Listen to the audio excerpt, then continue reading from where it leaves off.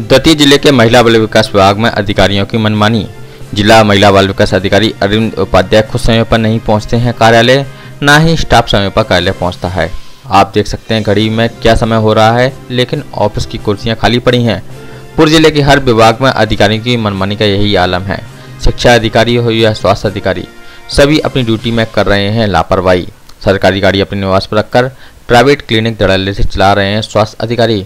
विभाग के उच्च अधिकारियों की कोई नज़र नहीं है।